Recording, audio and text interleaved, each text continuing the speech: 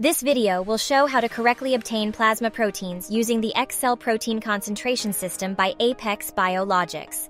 All equipment used in the procedure room is understood to be sanitized to current federal standards. Create a sterile work environment before proceeding. Draw 9 milliliters of ACDA into two separate 60 milliliter syringes. Draw whole blood from the patient, filling each syringe to maximum 60 milliliters. Once blood is drawn, detach tube and ensure anticoagulant mixes throughout samples. This process can be completed with 60 milliliters or 120 milliliters of blood to obtain starting volume. Slowly transfer blood from each 60 milliliter syringe using the 45 degree bent dispensing tip into XCELL concentrating devices.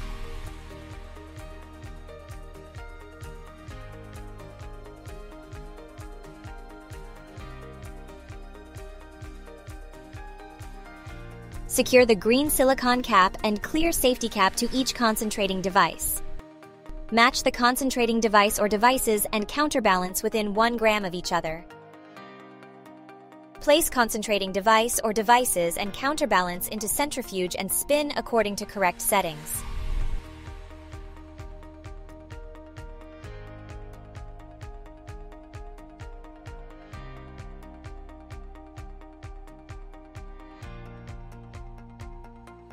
Carefully remove concentrating devices from centrifuge, remove the caps, and insert the XCELL concentrating device into the benchtop processing station.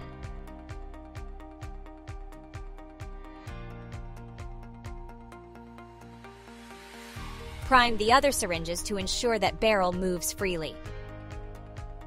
Place a 60 milliliters syringe vertically on the concentrating device and push the platelet poor plasma into the 60 milliliter syringe until the buffy coat reaches 6 milliliters.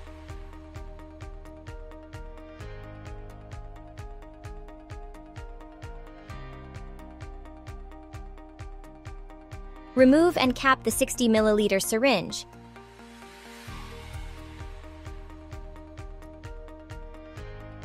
Add a primed 12 milliliter syringe and push the remaining PRP until the syringe captures the buffy coat.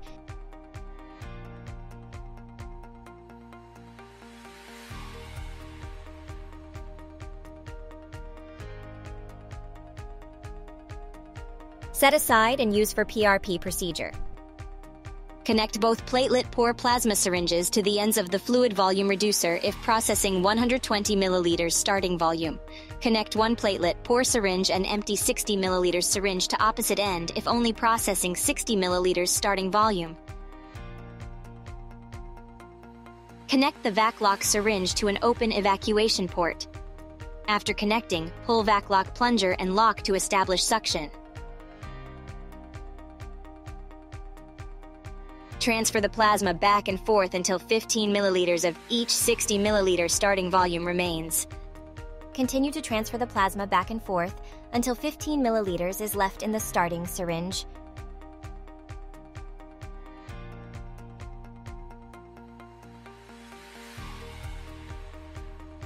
This completes the protein concentration.